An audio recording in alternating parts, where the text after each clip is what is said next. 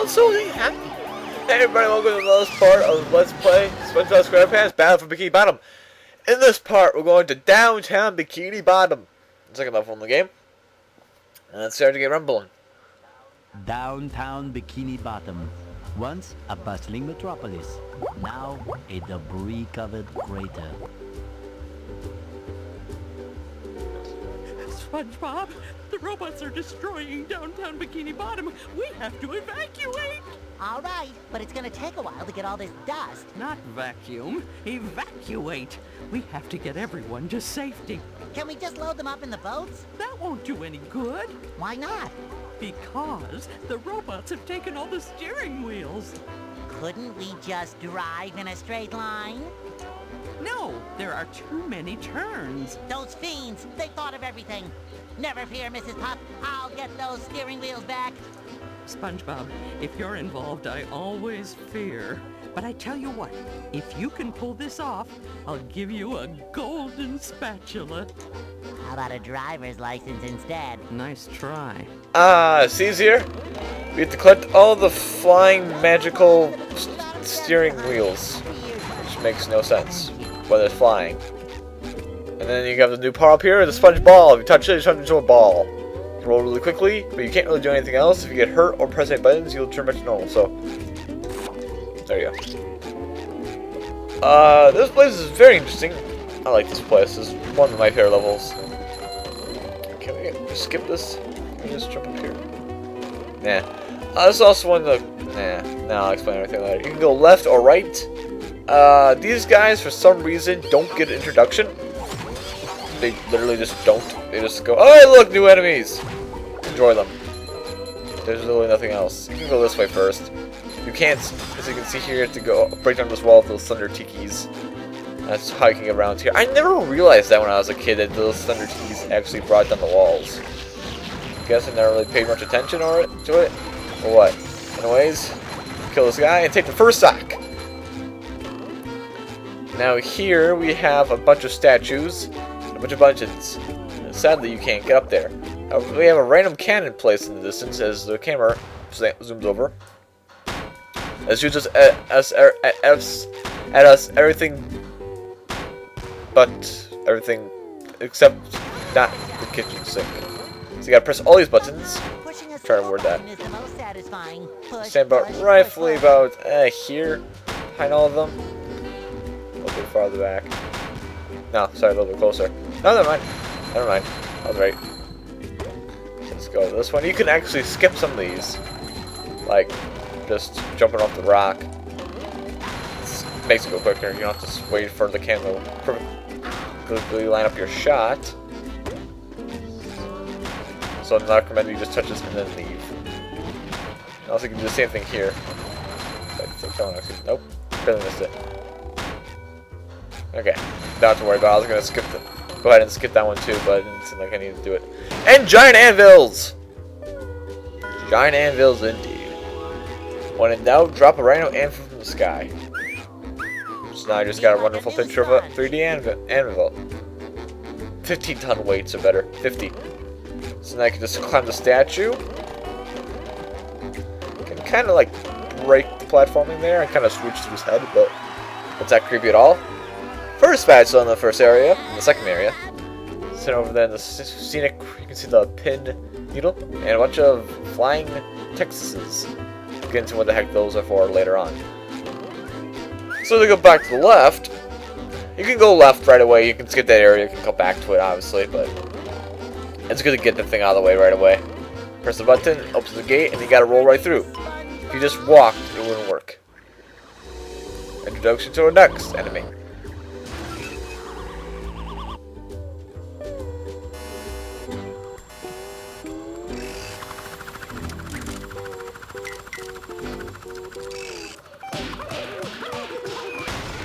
What's anvils? Good job, Gary. So, bubble bounce from, from above, as Gary liked to show us. Nice, Somehow I don't think he needs nice pun. Nice pun. I'll, I'll let him get that one. Now, you can see there's a sock up there.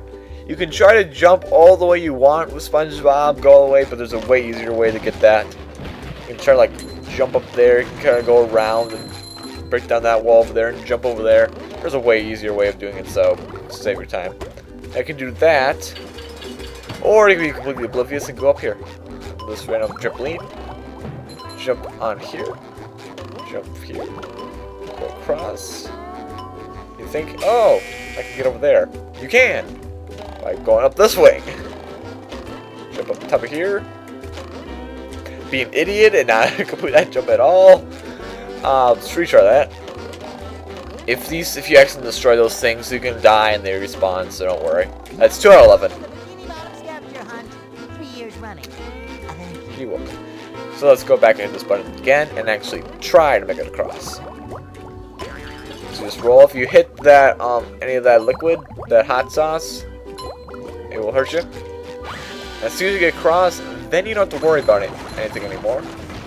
Because, well, it stays down. You don't have to press the button again. See here, that brings down that wall. Just gives you a shortcut there. This enters here. It's a nice little, little token there. You can go back here and grab this shiny. Not really a lot, so not completely worth it, but you just go, eh, I want to get it. Go ahead and get it. There's one dude standing here for no good reason. Actually, no, he's guarding this.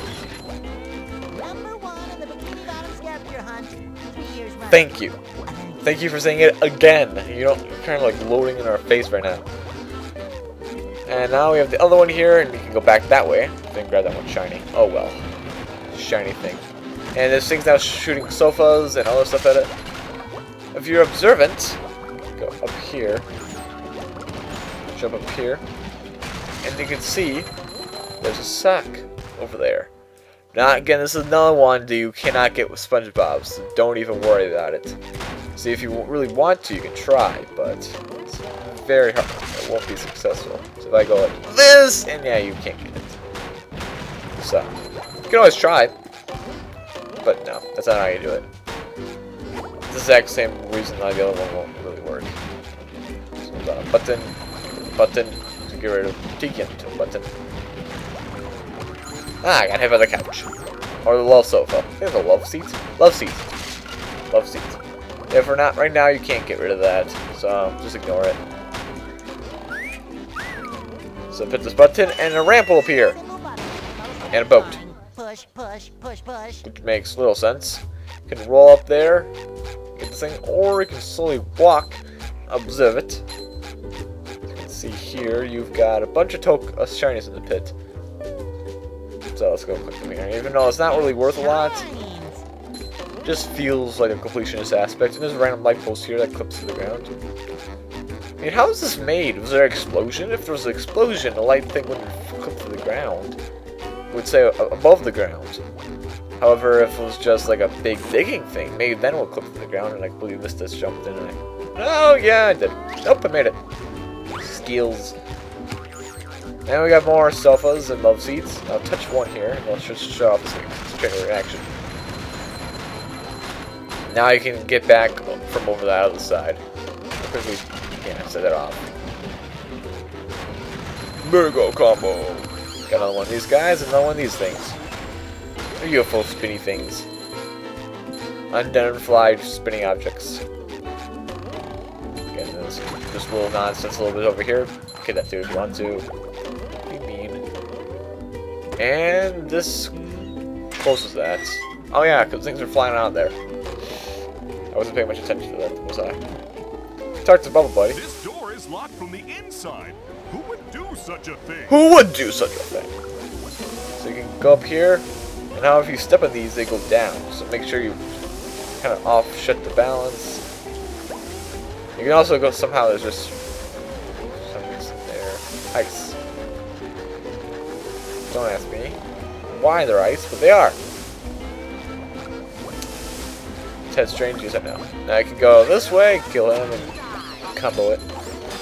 But it will be kind of pointless because there's that machine over there, the Surround 3000. By the thing open the gate, if you do not have enough money, we'll just farm. Farm that area right here. You should be at least close to it if you don't have it exactly. Uh, a steering wheel up there. And that can't you if you really want to, you probably could glitch or something of some sort. Yeah, probably can't, but anyways, just be patient. Be patient. We'll get to the thing where we need to get the, all these things sooner or later. Just hang on tight. So grab the ball. That was a horrible pun. And go up the ramp and through the goal. Goal! Goal! This jump, so we can ignore it for now. It's okay, right? Hi, Gary. Meow. Yes, thanks for noticing. I have been working out. Meow. Not done. Doesn't that mean meow? Oh, that's the entrance to the rooftops, which leads to the lighthouse? Uh-huh. There's another golden spatula. I could really use that. Meow. How does he get Sandy to help me? I can get through this. Meow, meow. Oh, that gap looks big. Okay, I'm definitely not making that jump. How is anyone going to get across there? Uh-oh, more robots. Holy Dutchman's ghost! That gap looks impossible! Impassable! Okay, okay, I'll go get Sandy to help me out. So that's what we need here. We need Sandy! Sandy Cheeks! The squirrel. And that introduction was better left if I actually went ahead and went right over to go get Sandy Cheeks, but sadly I like to blow things up. And then everyone does it. Anyways, Sandy, Sandy Cheeks. Really have no other example of why Sandy suddenly appears here. Or why her shadow's head floating in the air.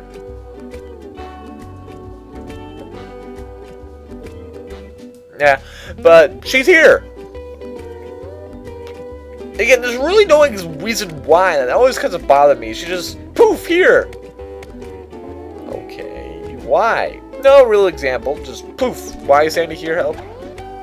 Jump to the top of the A. She can press A to glide. So she's a glider. She's a flying squirrel. But first, and also you can then jump over here. Grab this. Someone better make good use of And also explode this thing and have him go kaboomy. And also gets you out because uh, obviously you can't normally walk in here. For some reason. Wow, the robot get in here? I don't know. Thank goodness there's a giant explosion on the wall there, or we would also be screwed.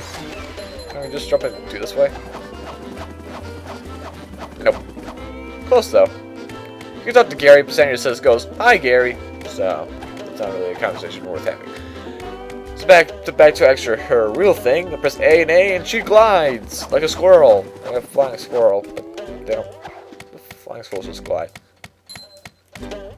Jump over here grab a hundred shinies. 50. 50 shinies. So basically Sandy here, as we'll get into our jumping mechanics, basically breaks any sort of she actually goes right to game at certain points with her long jump reaching length. It's ju- just how it will work. It's weird, but it, it's just how it will work. I mean, if you try to hide anything, you can just jump with her. You can just air, it's a B and A, B, there's different things. Maybe is a little bit easier, I don't know. Basically there's no attacks and she teleports. So basically press X, and she lassos these things. Um, there. This is also a one-hit kill move. You can't. No robot will survive it, so it's fair. Oh, sorry. Uh, swing hook, press X. This gives you it gives you a pretty good range in those. And later on in the game, when they're supposed to make you really tough jumps, the really really nice range in them is tad pointless because you can just go and like relatively close to anything. And let's walk all the way back up there. As I was saying, press X and you just and death. Just that just instantly kills every robot, which is really nice. Mean, one of the best characters, however, it takes a while to get that shot off, that attack off. And if you don't get that attack off, well then you get hit and then it's pointless. You're just barely just pressing normal X. So, anyways, swing across here, and we'll make it across. However, if you do have a good memory, See, number A, the cannon over there that gave me so much trouble is right there. Number two, that sock is over here. So let's go. I'm gonna swing. Start jump across, and you can make that easily. Really, that shows how far you can jump. That's easily. And jump over here, and you get a steering wheel. Yep, Another one. and then you just get rid of this thing like old-fashioned, just fall to pieces. Now, if you have better memory, you remember there's one spot I said before that you couldn't get the patch, the socks, so don't try. We'll quickly pop over there before we continue into the rooftops. Sadly, that platform, so kill yourself if you don't have it. So suicide by pot sauce. What a way to go. How far do I walk back here? Pretty dang far. No, no, actually- It's hardly anywhere, so that's nice. So make sure you don't hit that thing though, because if you do, you're gonna set this horn turn thing off, and then you won't be able to jump up here and jump for your sock. Ten socks. Uh, now quickly, I'll head back to the. Okay, so you can you can also have these little checkpoints here. You can jump on this trampoline here. You can jump back on the rooftop. It's a nice little shortcut. A little bit long, long ones along the way. Long ones around the way. Can't talk. Nice little thing here, jigs here and there. So I'm gonna meet you back. Now to show you the range of this thing, I'm down here. This thing's up here. If I jump, I can press X, and I get up there.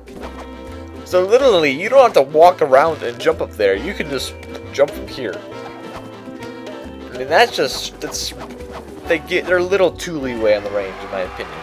I'll probably miss a couple of jumps in the game, and that's just be my hor my horrible fault. But there's not a lot a lot of ways to get in this. I mean, that is, gives you it's a pretty dang nice range. It's pretty dang generous. So that's exits, which into the rooftops we go. Sandy! Boy, am I glad to see you. I need your help. My TV reception has been terrible lately. I need to have someone replace my old antenna with this shiny new one. Yes, sir. That there antenna is shinier than a $3 bill. Well, why don't you replace it yourself? I'm not First really problems. much of a jumper, So, what's jumping got to do with it? because the old antenna is up there. Oh,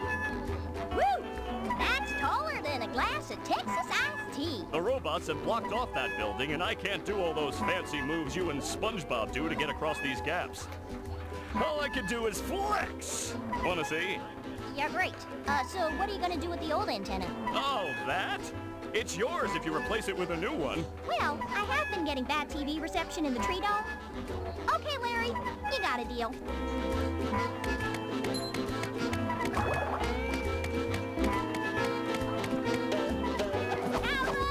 So to improve your bad reception, you're gonna get something that also gives bad reception. Uh, I really don't get how that works, but okay. Cutscene.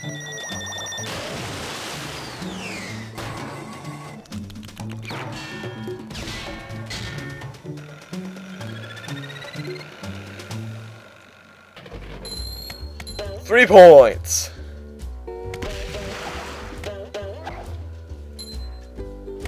These things are annoying. As you can see, they will attack you and attack you like all enemies do. However, they have really long range. The splash damage on those things are really annoying. They only take one hit to die though, so don't worry much about them. living. So if you can get to them, then they're dead. But however, if you can't get to them, like they'll back up and get out of your range. Well, then you start a problem, and then sometimes you get just knocked off the rooftop periodically by random nonsense that get thrown in your direction. What are you gonna do? Oh, splatter range. And then redo comes back, and hello, and now you're dead again. Hooray, you're dead again. He killed you. So, see here. See here.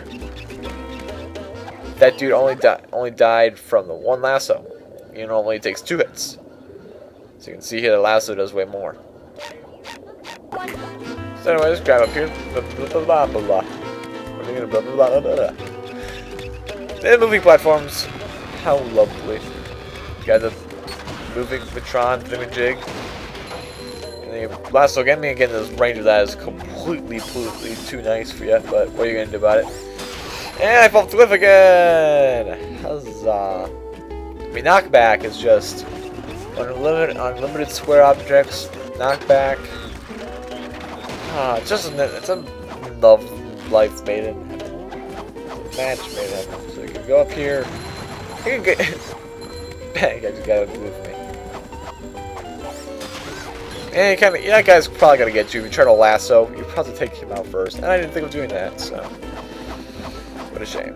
Anyways, you have this shiny object, and we get a new path here. Pressing this button. Uh, this is not a shortcut, as you might think, like a corner try to shortcut through the level. It's not. It actually is just an alternate path to a different place. So don't worry about not you skipping part of the level. That's when I saw this. I'm like, oh no, I'm gonna skip part of the level. Don't worry. So press this button and get on with it. And voila! They all appear, and you have a fun joyride ahead you, all the way to this area. Random Golden Spatula. It really made no sense, but no time limit. So, have fun pressing A then X. A then X. And this was X. How about X? How about some use an axe? How about we chuck down a cherry trees with an axe? How about we ask another question? I might be asked to say something different, and I might have to jump all the way to the end here and grab the golden spatula. See the time six down, but it doesn't really matter because, well, you got it. That's the reward.